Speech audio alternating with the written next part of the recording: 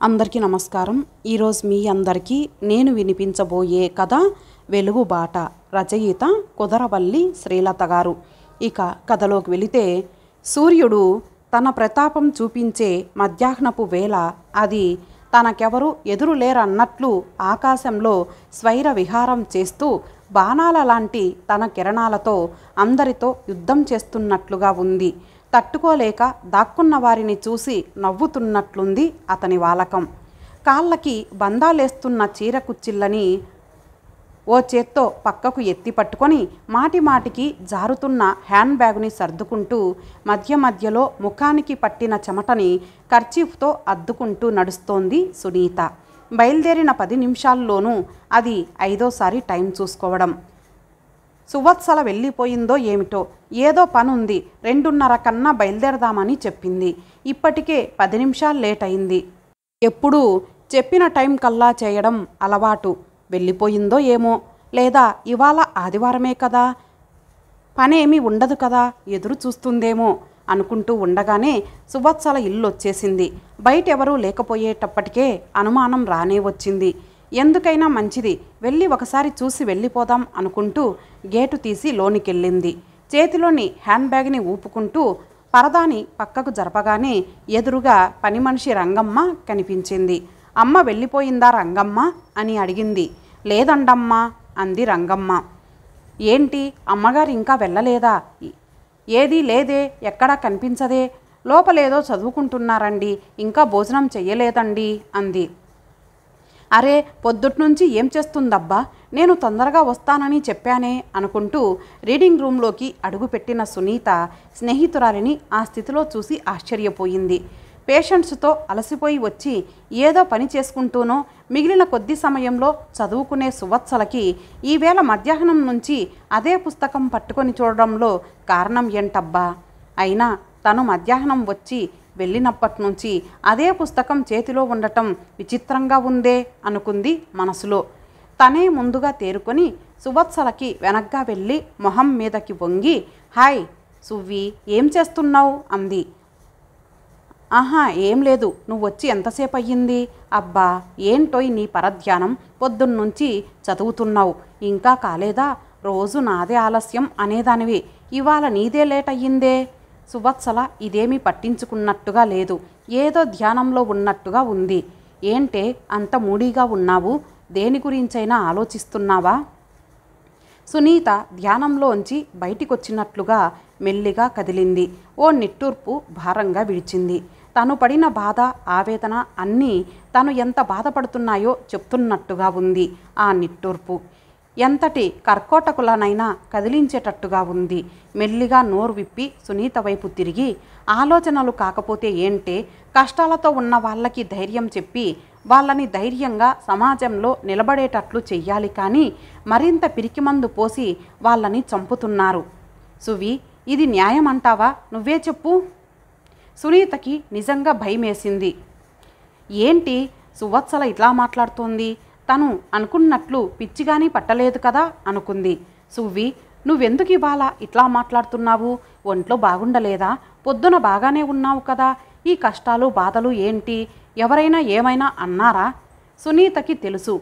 సువత్సల సున్నిత మనస్తత్వం. పేషెంట్స్ చెప్పే కథలు విన్నా అలాగే బాధపడుతుంది.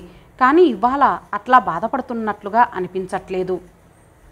సువత్సల సునీత మనసుని చదివేసిందేమో. చేతిలోని వారపత్రికని సునీతకిస్తూ చూడవే సువి ఈ కథ పూర్తిగా చదువు. మధ్యాహ్నం నుంచి నేనెందుకు బాధపడుతున్నానో నీకే అర్థమవుతుంది. సునీత పుస్తకాన్ని చేతిలోకి తీసుకుంటూ సువత్సల కళ్ళలోకి చూసింది. ఆ ఒక్క చూపే చాలు. తను ఎంత బాధపడిందో మనసున్న ప్రతి ఒక్కళ్ళకి అర్థమవుతుంది. ఇంతలో రంగమ్మ వచ్చింది. అమ్మ భోజనానికి రండమ్మ సానా పొద్దుపోయినాది అంది. ఆ వస్తున్నా. చూడు రంగమ్మ అమ్మకి ఓ గ్లాసు షర్బత్ ఇచ్చేయి నేను ఇంతలోపే కాళ్ళు కడుక్కొస్తాను అంటూ లేచింది. అట్టాగేనమ్మగారు అంటూ వంటింట్లోకి వెళ్ళిపోయింది. సునీత పుస్తకాన్ని చేతిలోకి తీసుకుంది. లక్ష్మి తొందరగా తయారవు వాళ్ళు వచ్చే వేలయ్యింది తండ్రి గావు కేక వినిపించింది. హడావుడిగా ఉన్నప్పుడు అట్లా కేక వేయడం ఆయన అలవాటు. అసలే తొందరపడుతున్న లక్ష్మి వాళ్ళమ్మ ఆ కేకకి ఇంకా తొందర ఎక్కువై లక్ష్మిని తొందర పెట్టనారంభించింది లక్ష్మికి గుండెల్లో దడగా ఉంది. భయానికి కడుపులో తిప్పేస్తున్నట్లుగా ఉంది. అసలే మొదటిసారి పెళ్ళి చూపులు. తను సరిగ్గా ఉందో లేదోనని అద్దంలో చూసుకుంది. ఎన్నిసార్లు చూసుకున్నా అదే అద్దం అదే ప్రతిబింబం. చూసుకున్న ప్రతిసారి సిగ్గు పెరిగిపోయి రెప్పలు వాలిపోతున్నాయి. ఎలా నడిస్తే బాగుంటుంది? కొద్దిగా తల ఉంచుకొని నడవాలి. బాగానే ఉంది. కానీ ఎవరిలాగా జయసుధలాగానా? లేకపోతే జయప్రదలాగానా? మరి శ్రీదేవిలాగానా? ఎవరిలాగా నడిస్తే బాగుంటుంది? రెండుసార్లు నడక ప్రాక్టీస్ చేసి చూసుకుంది. మరలా వచ్చి అద్దం దగ్గరే నిలబడింది. గడియారపు చిన్న ముళ్ళు ఏడుకి దగ్గరవుతోంది. ఇంతలో బయటేదో హడావుడి మొదలయ్యింది. బాబోయ్ వాళ్ళు వచ్చినట్లున్నారు అనుకుంది భయంగా. ఇంతలో లక్ష్మి చెల్లెలు తమ్ముడు వచ్చి అక్కని తొంగి చూసి ఆ వచ్చిన వాళ్ళ పిల్లలతో ఆడుకోవడానికి వెళ్ళిపోయారు. మధ్యవర్తి వచ్చిన వాళ్ళని నాన్నకి పరిచయం చేస్తున్నారనుకుంటా. నమస్కార ప్రతి నమస్కారాలు అయిపోయాయి. లక్ష్మి వాళ్ళమ్మ స్వీట్ ప్లేట్లు మాత్రం తీసుకొచ్చి లక్ష్మి ఉన్న రూమ్లో పెట్టి సర్దుతోంది. ఏమీ తోచక లక్ష్మి కూడా వాళ్ళమ్మకి సహాయం చేస్తూ కూర్చుంది. అబ్బా ఎవరూ లేరు. ఎట్లాగో ఏంటో. స్నేహితురాలు ఎవరైనా ఉంటే బాగుండేది అనుకుంది. ఇంతలో స్వీట్లు ఉన్న ప్లేట్ల స్థలాలు మారాయి. వాళ్ళు తింటూ మాట్లాడుకుంటున్నట్లు ఉన్నారు. ఏమీ తోచక ఏం మాట్లాడుకుంటున్నారో విందామని చెవులు రిక్కించింది. ఇంతలో ఎవరో లావుపాటి గొంతు అమ్మాయిని చూపించండి అన్నారు. వర్జం వచ్చేస్తున్నట్లుంది. అలాగే అని ఏమేవ్ అమ్మాయిని తీసుకురా అని లోపలికొచ్చి చెప్పి లక్ష్మి దగ్గరగా వచ్చి అమ్మాయి తలదించుకోమ్మా నవ్వకు అని చెప్పి ఏమేవ్ జాగ్రత్త అని భార్యను మరోసారి హెచ్చరించాడు. తెలుసులేండి నాకు. మీరు చెప్పాలా ఏంటి? అని లక్ష్మి వైపు తిరిగి నెమ్మదిగా నడు అని మరోసారి చీర సర్ది అందరి ముందుకు తీసుకువెళ్ళింది. లక్ష్మి అచ్చం సినిమాల్లో పెళ్ళి చూపుల్లో మాదిరి హీరోయిన్లు నడిచినట్లే నడిచింది. లక్ష్మి కాళ్ళలో వణుకు ప్రారంభమయ్యింది. తన తండ్రి ఎక్కువ మొత్తం ఇచ్చుకోలేడని తెలుసు. అయినా తన అదృష్టం బాగుంటే ఓ మంచి వరుడు రాడు అని అనుకుంది. తాను మొన్నేదో సినిమాకి వెళ్తే అందులో హీరో హీరోయిన్కి ఇలాగే పెళ్ళి చూపులవుతాయి. కట్నాల గొడవ రాగానే నాకు కట్నమేమీ వద్దు మీ పిల్లే మాకు కట్నం అని ఓ పెద్ద డైలాగు చెప్పి అష్ట కష్టాలు పడి అందరినీ ఎదిరించి పెళ్ళి చేసుకున్నాడు. తను ఆ సినిమా ఏ ఐదు సార్లో చూసింది. ఎప్పుడు చూసినా అబ్బా ఎంత అదృష్టం అని అనుకోకుండా ఉండలేకపోయేది. ఈ మధ్య సినిమాలు చూడటం నవలలు చదవడం ఆ హీరో హీరోయిన్లతో తమని పోల్చుకోవడం తృప్తి పడటం లేదా బాధపడటం వాళ్ళలాగే తాము తయారవ్వాలని తాపత్రయపడటం మనిషికి పరిపాటైపోయింది. ఇది యవ్వనంలో ఉన్న పిల్లలకి మరీ ఎక్కువ. అమ్మాయిని తీసుకెళ్ళొచ్చు అని వినిపించింది. మెల్లిగా లోపలికొచ్చి వాచి చూసుకుంది. అబ్బా అప్పుడే అరగంట అయిపోయిందా అనుకుంది స్వాగతంగా. తన పరధ్యానానికి తనని తాను తిట్టుకుంటూ కనీసం తలైనా ఎత్తి చూడలేదు. అబ్బాయి ఎట్లా ఉన్నాడో తల ఎత్తి చూస్తే బాగుండేది అనుకుంది. ఇంతలో బయట గదిలోంచి ఏవో మాటలు వినిపిస్తున్నాయి. మనసులో ఉన్నటువంటి ఆలోచనలని నెట్టేసి కనీసం ఆ మాటలైనా విందామని మెల్లిగా తలుపు వెనక్కి చేరి చెవులు రిక్కించింది. ఎవరో కానీ ఓ మగ కంఠం అడుగుతోంది ఎంతలో ఉన్నారు? అని మెల్లిగా నాంచాడు లక్ష్మి తండ్రి. తర్వాత వాళ్ళేం మాట్లాడుకున్నారో వినపడలేదు. తర్వాత కబురు చేస్తాం అని వాళ్ళు అన్నమాట వినిపించింది.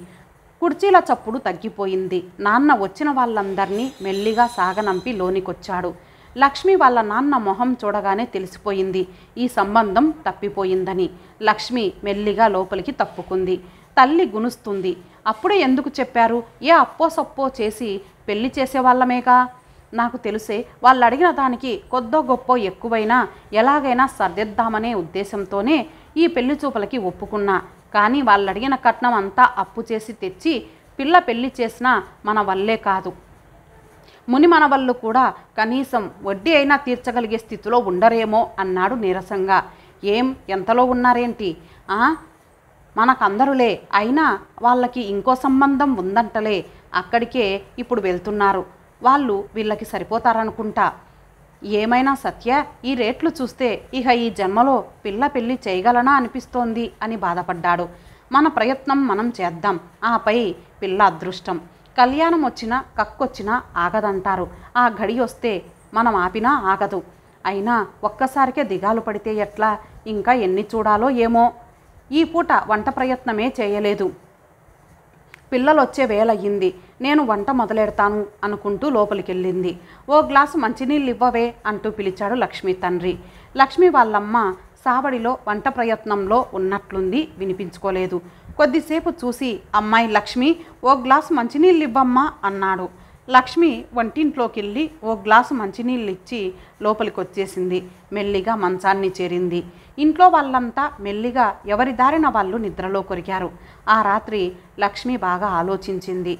ఇన్ని రోజులుగా తను కట్టుకున్న మేడలన్నీ గాలి మేడలై కూలిపోయినట్లుగా ఫీల్ అయ్యింది. వాళ్ళకు కావలసింది అందం డబ్బు ముఖ్యం. నాకంటే ఇంకొకళ్ళు రేటు ఎక్కువ పెడుతున్నారు కాబట్టి వాళ్ళనే ఆ అదృష్టం వరిస్తుంది.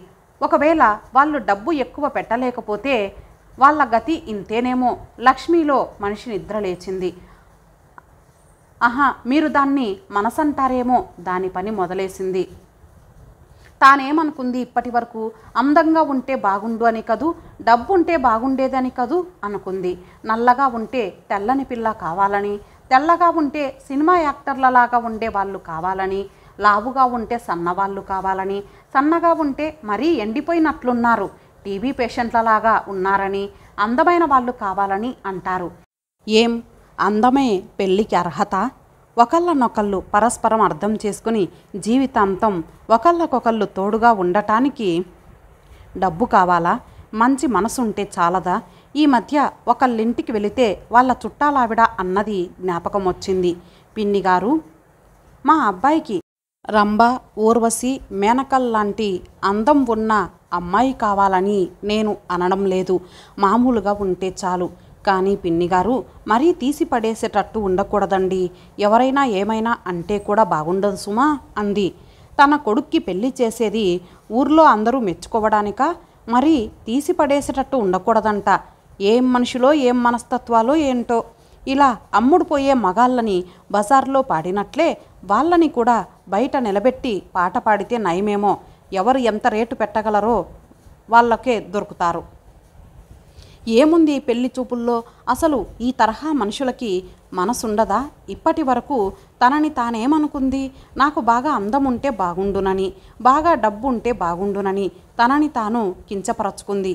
కానీ ఆలోచించిన లక్ష్మి ఇప్పుడు అనుకుంటుంది అసలు వీళ్ళిట్లా మనసు చంపుకొని ఎలా ఉండగలుగుతున్నారు? ఆలోచించిన కొద్దీ మనసు మంచిగా పనిచేయడం మొదలెట్టింది. అవును మరి రోజు వాడకపోతే ఏదీ పనికిరాదు. లక్ష్మికి ఆ రోజంతా బుర్రకి పని చెప్పింది. చివరికి ఓ నిర్ణయానికొచ్చి నిశ్చింతగా నిద్రపోయింది. తెల్లారి లేవగానే తలస్నానం చేసింది. తండ్రి కూర్చొని పేపర్ చదువుతున్నాడు. శుక్రవారం కాబట్టి లక్ష్మి వాళ్ళమ్మ ఇంకా పూజలోనే ఉంది. మెల్లిగా వెళ్ళి చేతులు జోడించి దేవుడికి దండం పెట్టుకుంది. లక్ష్మి భగవంతుడా నేను ఎన్నుకున్న మార్గంలో ఏమైనా తప్పులుంటే దిద్ది నా ఆశయాలు నిజమయ్యేటట్లు చెయ్యి అని మొక్కుకుంది. కుంకుమ తీసి నుదుట పెట్టుకుంది. మెల్లిగా బయటకొచ్చి తండ్రి వెనక చేరింది. మెల్లిగా భయంగా అయినా దృఢ నిశ్చయం ప్రతిధ్వనించే గొంతుతో చెప్పింది తన నిర్ణయాన్ని. నాన్న నేను చదువుకుంటాను అని చెప్పింది. అలాగేనమ్మా నువ్వెంతవరకు కావాలంటే అంతవరకు చదువుకో అన్నారు లక్ష్మీ నాన్న. చదువు మీద ధ్యాసతో బాగా చదివి స్కాలర్షిప్తో ఎంబీబీఎస్ చదివింది. తల్లిదండ్రులు మధ్యలో గొడవ చేశారు. ఎట్లాగైనా పెళ్ళి చేసి అత్తారింటికి పంపిస్తామని. కానీ లక్ష్మి ఆలోచించింది. ఒకవేళ తండ్రి చెప్పినట్టు పెళ్ళి చేసుకుంటే తను అత్తారింట్లో సుఖపడేది అట్లా ఉంచి తల్లి తండ్రి తనని కన్న పాపానికి అప్పుల పాలవ్వడం తనకి తోడబుట్టిన పాపానికి తమ్ముడు చెల్లెలు రోడ్డు మీద అడుక్కునే స్థితికి రావడం ఖాయం.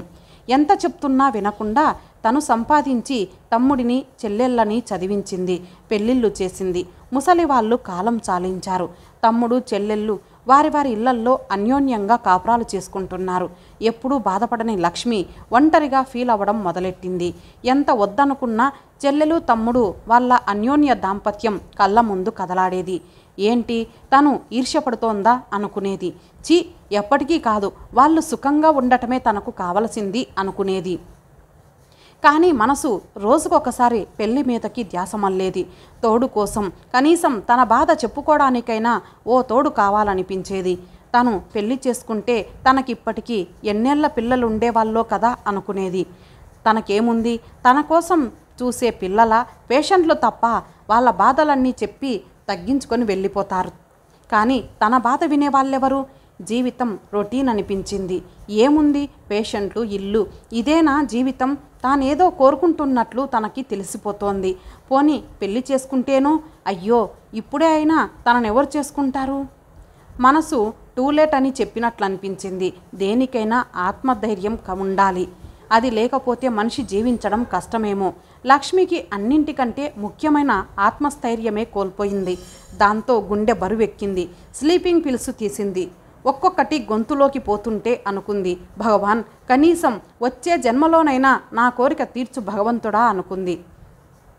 కథ చదివిన సునీత గుండె కూడా బరువెక్కింది. ఇంత చదువు చదివిన లక్ష్మి పిరికిగా ఇంత తెలివి తక్కువగా పెళ్ళి కాలేదే అనే బాధతో చచ్చిపోయిందా?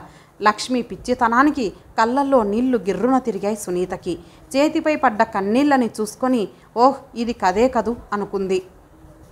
కాదు ముమ్మాటికి కాదు ప్రతి కథనం మనం కల్పించినదైనా కనీసం ఆ స్థితిలో ఉన్న ఒక్కరికైనా దారి చూపించి వాళ్ళ కష్టాలను గట్టెక్కించగలిగితే దానికి ఫలితం ఉంటుంది అనుకుంది తనలో.